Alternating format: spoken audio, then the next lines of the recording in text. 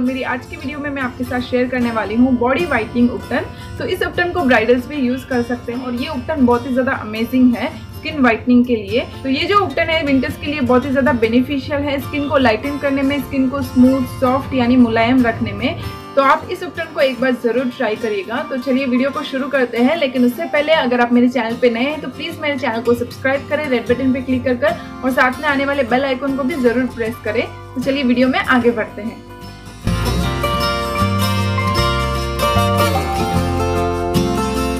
तो इस उपटन को बनाने के लिए हमें चाहिए एक साफ़ बाउल, जिसमें हम ऐड करेंगे टू टेबलस्पून व्हीट फ्लोर यानी गेहूँ का आटा, और वन टेबलस्पून ग्राम फ्लोर यानी बेसन। गेहूँ का आटा और बेसन दोनों स्किन के लिए बहुत ही ज़्यादा बेनिफिशियल है।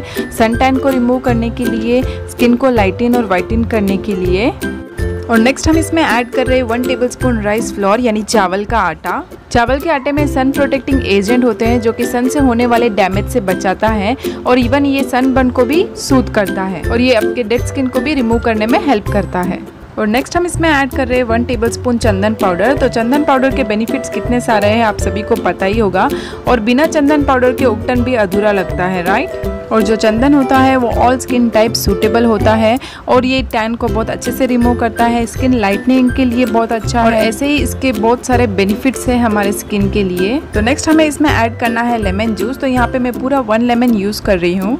लेमन में ब्लीचिंग प्रॉपर्टीज़ है और ये विटामिन सी रिच है तो ये स्किन लाइटनिंग के लिए भी बहुत ही ज़्यादा इफ़ेक्टिव है। लेमन ऐड करने के बाद नेक्स्ट हमें इसमें ऐड करना है वन टेबल स्पून फ्रेश मलाई।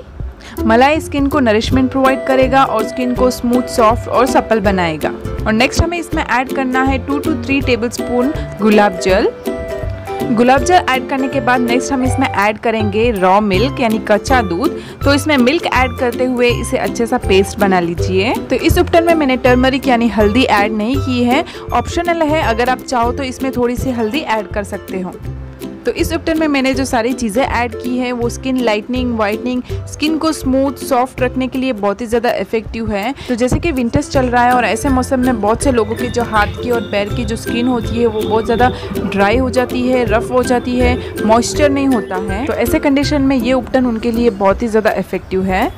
तो ये उपटन बिल्कुल तैयार है, चलिए इसको अप्लाई करते हैं। तो इस उपटन को अप्लाई करने के बाद आपको एटलीस्ट फाइव मिनट्स तक इसको मसाज करते रहना है सर्कुलर मोशन में। इस तरह से।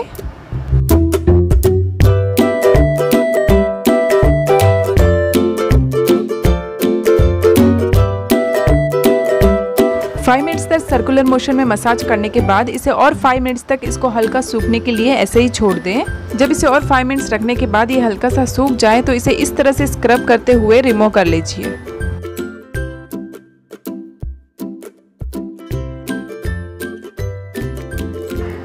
उपटन को रिमूव करने के बाद आप क्लियरली डिफरेंस देख सकते हैं। तो एक्चुअली विंडो से नेचुरल लाइट आ रही है तो आपको शायद डिफरेंस पता ना चले। तो यहाँ पे आपको देखकर पता लग जाएगा कि ये उपटन कितना अमेजिंगली वर्क करता है। तो इस हाथ पर मैंने उपटन अप्लाई किया था, जो कि आप देख सकते हैं, और इस हाथ पर मैंने उपटन अप्लाई नहीं किया था। तो आप दोनों हाथों पर डिफरेंस देख सकते हैं। तो इस उपटन को आप भी घर पर एक बार ज़रूर ट्राई करें, ये बहुत ही इफ़ेक्टिव है। तो इस बॉडी उपटन को आप वीकली वंस या ट्वाइस ज़रूर अप्लाई करें। स्किन को सॉफ्ट स्मूथ और ब्राइटन रखने के लिए। तो अगर आपको ये वीडियो अच्छा लगा हो तो मेरे वीडियो को लाइक कर ले। और अभी तक आपने मेरे चैनल को सब्सक्राइब नहीं किया है तो प्लीज़ रेड बटन पे क्लिक करके सब्सक्राइब करें और इस वीडियो को आप अपने फ्रेंड्स और फैमिली के साथ शेयर भी कर सकते हैं। तो मिलते हैं मेरे नेक्स्ट वीडियो में। Till then bye